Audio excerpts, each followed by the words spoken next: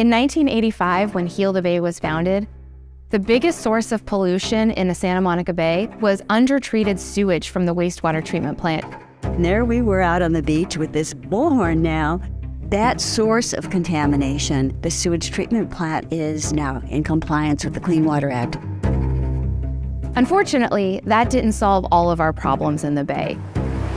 Lots of issues that the ocean is facing right now directly impact us as humans. Climate change, plastic pollution can cause dramatic disruptions. DDT, hundreds of tons of contaminated DDT, poisoning the fish. Sea star populations on the west coast just disappeared. And we're also in the middle of the sixth mass extinction. Overfishing, ocean acidification, harmful algal bloom, toxic chemicals, fish contamination, decimating wild populations. It's a large scale problem.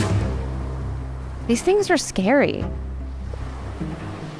But I have hope that we're going to rise to meet these challenges because we know that we have the tools that we need.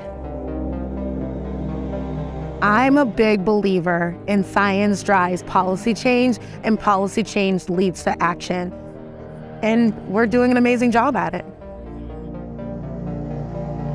Heal the Bay is focusing on four core issue areas public health, climate change, biodiversity, and equity and environmental justice.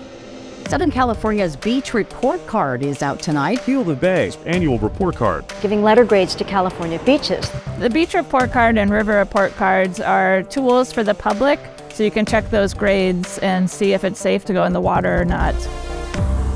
Estos cinco pedacitos son los más contaminados con DDT, PCB y mercurio.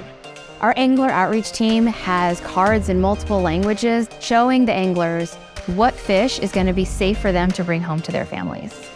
El programa de the Bay se ha corrido desde el año 2003 y hasta la actualidad hemos educado a más de 180 mil pescadores desde nuestros inicios. This is the Bay Aquarium. This is right underneath the Santa Monica Pier. This is a place where we get to educate over 10,000 kids a year. Over 70% of those kids are coming from Title I schools.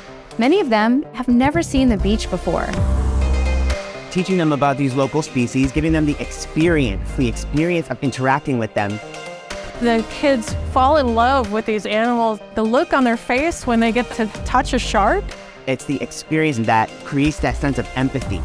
And that's what makes us so important. Water connects us all, right? It's like one of the few things that really connects every community. Heal the Bay is working to make sure that our communities are adapting to climate change in a way that is equitable and affordable for all Angelenos.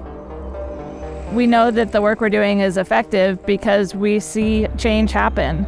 And we work to pass policies or laws. We've helped to pass Measure W. Measure W for recycling rainwater. And I'm so proud of the success around plastic pollution. The phase out of single use plastics starts to seeing those successes is really rewarding. We're up against some massive challenges. But I'm hopeful because I work with an incredible group of scientists and policy experts we're the ones you want at the table to work on these issues because we've done it before. And in many ways, Heal the Bay is magical, right? We show up every day knowing that we can make positive change for everyone, every community. And when you start small within communities and you expand and expand, that's how you get global action. Heal the Bay is here to make sure that future generations have all the opportunities to explore the things that make Southern California so special.